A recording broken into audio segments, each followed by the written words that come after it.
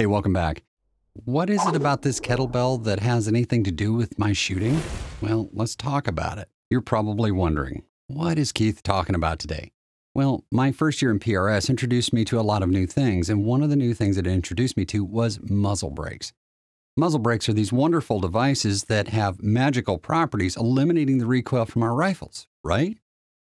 Well, not exactly. And there's many considerations in the design of a muzzle brake that affect your outcomes, some of which I've learned the hard way in the last year. So today I'm going to give you an overview of what features to look for in your first muzzle brake or in a subsequent muzzle brake if you're fighting problems with yours. So guys, let's get started with a very simple subject. Okay, it's not simple. How do muzzle brakes work? So you're probably wondering, what is this for? Well, it's to explain Newton's third law and that is for each action, there's an equal and opposite reaction. Right now, at the moment, this kettlebell is pressing down into my hand with 10 pounds of force. Well, unsurprisingly, my hand is pressing up with 10 pounds of force. Otherwise, it would fall to the floor. So we have to understand that for each action, there's an equal and opposite reaction.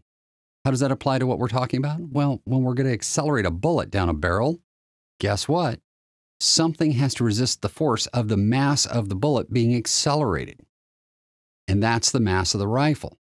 But that mass, well, it gets accelerated as well, just at a lower rate than what the bullet is because it weighs so much more. Well, if that's what recoil is, how does a muzzle brake work? That's not the entirety of recoil. Recoil has two basic components. The first is the acceleration of the mass of the bullet down the barrel. The second is the subsequent gas effect as the muzzle gases, as that high pressure gas expands right at the muzzle of the rifle. That's why you see certain powders make different recoil impulses than others. It's the rate of acceleration of the bullet down the barrel and the amount of gas emitted at the muzzle. Lower muzzle pressures result in lower recoil overall values. But for the same velocity, the recoil is going to feel sharper. Yeah, it makes no sense when you think about it until you really think about it. So, how does a muzzle brake equate into this? Well, the simple thing about a muzzle brake is it is nothing more than a gas redirector. Its job is to catch those gases coming out of the muzzle and redirect them sideways and rearward to take advantage of that gas, to redirect that explosive flow to the rear, to act as a shock absorber. And it does act as a shock absorber. If you are firing the rifle hard held, you're going to get all of the recoil of accelerating the mass of the bullet before the muzzle brake has a chance to take effect. So that recoil impulse from accelerating the bullet is only going to move your rifle somewhere between 50 thousandths and maybe 150 thousandths. After that, the gas effect takes over and it acts like a rocket motor pressing that rifle back into you, unless you have a muzzle brake, in which case it's decelerating the rifle from its already existing velocity to limit the felt recoil of the rifle. So it's a very simple system and a simple device that takes a lot of engineering to get right. And today I want to talk to you about some of the things I've learned about muzzle brakes, some things to look for, and some things to avoid in your search for just that right muzzle brake so that you get the best benefit for your rifle. So let me start with my first piece of advice having to do with muzzle brakes. And that is very simply don't use a muzzle brake if you don't need one.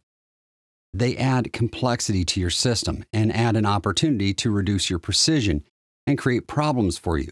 If you don't need to thread the muzzle for a muzzle brake, don't. If you don't need a muzzle brake that's creating aerodynamic factors against the bullet as it's passing through the baffles, don't.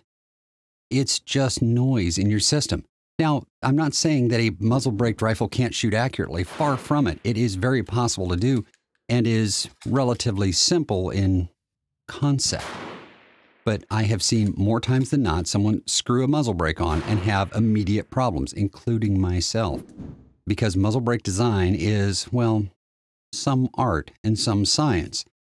And a lot of muzzle brake manufacturers are doing the art side of the equation and none of the science. But I'm not here to tear down manufacturers or tell you buy this one, not that one. Because as you know, product reviews really aren't my thing. Now, for this particular video, I'm going to disclose that I was given two muzzle brakes by Precision Armament. These HyperTap muzzle brakes are my favorite and I received them for no cost to me. This was not in exchange for a video, and it was not in exchange for a review. So just be aware that I have a little bias that is resultant from receiving something for free. The other muzzle brakes that I used for this study were purchased by me at retail prices. So my favorite muzzle brake really doesn't matter because eliminating your own personal bias is very hard to do. At the same time, I'll let you know that I do shoot with the HyperTap muzzle brake when I can screw any one of the others on. I still use the HyperTap. So it can't be a bad brake. But is it the best? Well, let's take a look at some semi quasi scientific analysis of how the rifle behaves because that's what's most important to me. But before we get into that, let's talk about precision first because muzzle brakes can both positively and negatively affect your precision. I bet you didn't know that. You thought they just slowed the rifle down, right? If you study muzzle brake design for any amount of time, you're going to find out that flat brakes, what are basically a flat baffle, a wall to stop the gas, was one of the original design parameters. The idea is by stopping the expanding gases from going forward, you eliminate that jet thrust, that rocket thrust from the muzzle. And that is an effective way to reduce the overall recoil. However, after a few generations of design, it became very apparent that you could redirect that thrust rearward, at least at an angle, to help reduce that recoil a little more, or more so, to decelerate the already accelerated rifle some, or decelerate it more quickly, thus reducing the felt recoil. So let's get into the features that I look for in a muzzle brake today, because today's field of muzzle brakes is immense. I'm not going to go out there and buy every single one of them and try them out and compare them for recoil reduction or precision or anything else because honestly, I don't have the budget to do that. And neither do you. So let's talk about features that signal a potential good outcome for you when you buy that muzzle brake. And number one on the list is a flat baffle design. Flat baffle designs generally, not always, but generally are more precision oriented. In other words, you're going to get better precision out of the rifle with less effort with a flat baffle design. Now, does that mean flat all the way out to the sides? No, it can be cranked back at the edges. As a matter of fact, the flat doesn't have to be very large at all. Take, for example, this HyperTap brake. It has a very small flat in it, but that flat is enough to keep the precision up. Now, I've told you that I've done some testing. I have a muzzle brake in my possession that I will not show you because I don't want to speak poorly of the manufacturer that, well, it negatively impacts my precision, especially with long boat tailed bullets. Flat baffle design, in my experience, is more precision oriented. You're going to get better precision out of the rifle easier with a flat baffle. But that's not the only thing that matters. So let's move into a little more science stuff and talk about how the nozzles are designed, because that's critical as well. If you work at all with supersonic aerodynamics, this is not going to be new to you. Just skip ahead to the next section. But ultimately, when we are designing a nozzle for the gills on a muzzle brake, that nozzle, well, it can be very efficient or it can be very inefficient. Let me give you an idea of one methodology that works very well, and that is a convergent divergent nozzle. What's a convergent divergent nozzle, you ask? Well, if you look at a fighter jet, when it goes into afterburner, you'll notice that the turkey feathers at the back end of the engine open up wide. If you look at the nozzle on a rocket, it has a bell shape to it. Well, before the bell shape, it is constricted some. The whole idea of a convergent divergent nozzle is to accelerate an already supersonic stream even faster. Well, guess what? The stream coming out the muzzle of your rifle is supersonic. That's why it makes that big banging noise. And ultimately, taking that already supersonic gas and accelerating more when facing it rearward is going to increase the efficiency of the muzzle brake in the recoil, well, modulation process. I don't want to call it recoil reduction. It's actually acting as a gas shock absorber. It makes it absorb more shock and slow the rifle faster, which can be beneficial to keeping you on target or can reduce the recoil into your shoulder to keep your position a little, well, cleaner. But that flat plane and the design of the nozzles headed rearward are not the only things to consider. Muzzle brakes can have ports or even angled gills that create downforce when you fire your rifle. But what does that actually do? Well, let's take a look at a comparison between this Kahuna brake and the HyperTap brake. The HyperTap has not been drilled for any vertical gas at all, so it's a straight back muzzle brake, as recommended by Matt at Precision Armament. Now, the Kahuna brake has angled gills, so it creates some downforce. And while the downforce, when fired from the bipod, does reduce the muzzle rise some, it has another effect, and I'm going to show you that right now. This is a 26 inch long, inch and a quarter diameter barrel, shot at 100 yards. You see that post shot bounce? That's the reaction of the stock to the forces slamming downward on the muzzle of the rifle. It oscillates a little bit. Now, with this particular configuration, with this short, thick, stiff barrel, it's not too bad. But when I go to a 28 inch M24 profile barrel, this is a 600 yard shot here. That kahuna brake, it oscillates quite a bit more to the point where you can't actually see the bullet impact. That could be a negative connotation. So, my advice with vertical gas dispersal out of the ports of a muzzle brake is to be very careful with it because it can create deleterious effects that negatively affect your ability to read your downrange feedback from your shot. Now, this is very situational. It depends on barrel profile and length. It depends on the stiffness of your stock. It depends on your bipod placement or whether you're shooting off of a bipod or a bag, because it's nowhere near as dramatic when you're shooting off of a bag that's pressed up against the magazine well. In other words, you're going to have to choose the lesser of two evils, muzzle rise or bounce, and determine which one is better for you. I'm not going to give you any advice there because I'm still experimenting, trying to figure out which one I like better. There's one other thing that I found is really critical to success with a muzzle brake, and that is you got it alignment. Having perfect alignment of the bore to the hole all the way through the muzzle brake is critical. Now, the vast majority of muzzle brakes are threaded on. And threads, well, no matter how well you machine them, they have slight tolerances to them. And even the best muzzle brake designs have to flange up against something. If you don't have a good square flange to a good square flange to keep that muzzle brake aligned, you're going to have slight misalignments. Self timing muzzle brakes are notorious for not being perfectly aligned. They can be out just a little bit or they can be out a lot, and it can cause some really interesting effects on the grouping of your rifle and the point of impact. As a matter of fact, if you have a self timing brake, I'm going to advise you to do one of two things. One is don't take it off unless you have a chance to resight in your rifle afterward and check your tune. Or two is take that self timing nut and put some Loctite on that sucker. Turn it into a one piece brake that is fitted to your barrel.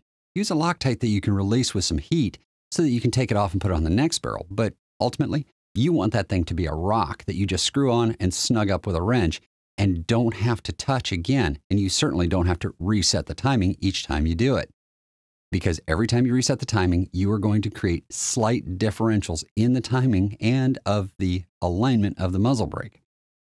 Which brings me to the next subject.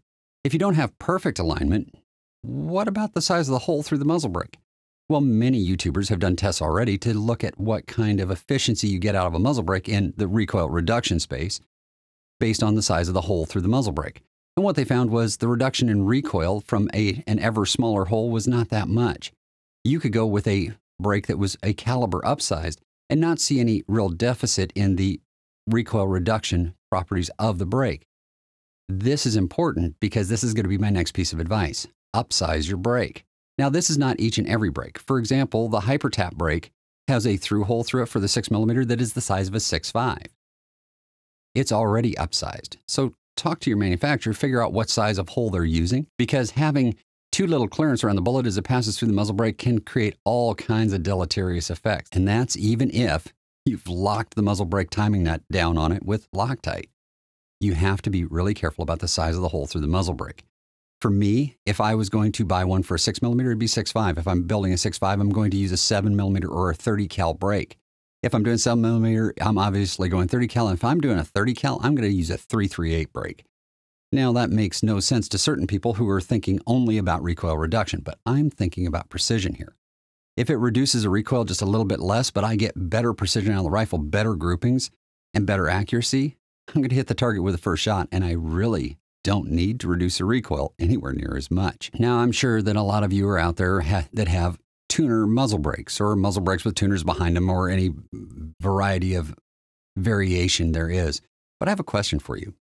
What happens to a muzzle brake as you shoot it? Does carbon build up in the brake? Maybe a little bit of copper too. Of course it does. So as you shoot the brake more and more and more, it's going to build up a larger and larger and larger mass of material inside the brake. Doesn't that change your tune? Of course it does. As a matter of fact, it changes not just your tune, but your point of impact. Here's the big thing that you need to do if you're going to shoot a muzzle brake for competition or high volume shooting, and that is clean your muzzle brake. Remember, I said that you should Loctite the nut onto your muzzle brake? Well, that makes it easier to take the muzzle brake off, put it in the cleaner, get it all clean, and put it back on the rifle without losing your timing or suffering the consequences of having to retime that muzzle brake, losing both your tune and your alignment. So, guys, in the end, muzzle brakes are something that, well, you may need in order to mitigate the recoil enough that you can shoot the rifle. If you don't need it, don't put one on there. It really isn't that important to have. It's not a must have. It's a nice to have. For my 223 training rifle, I am running a muzzle brake on it, as silly as it seems, mostly so I get used to the noise and concussion of using a muzzle brake, instead of needing to reduce the recoil of this little pop gun. All right, guys, that's what I have for muzzle brakes. One, don't use them unless you need to. Two, self-timing brakes have some limitations built into them that can be fixed by doing a gunsmith installed brake, by the way. Three, Use a flat baffle anytime you can because it's going to be more precision oriented. Four, use a bigger hole through the muzzle brake than is absolutely necessary. And five, be careful about vertical discharge of gas because it can set up a vibration or an oscillation in your rifle that is counterproductive for seeing what's going on downrange. All right, guys, until next time, shoot straight. Really consider what equipment you actually need in order to accomplish the mission at hand and I'll see you in the next video.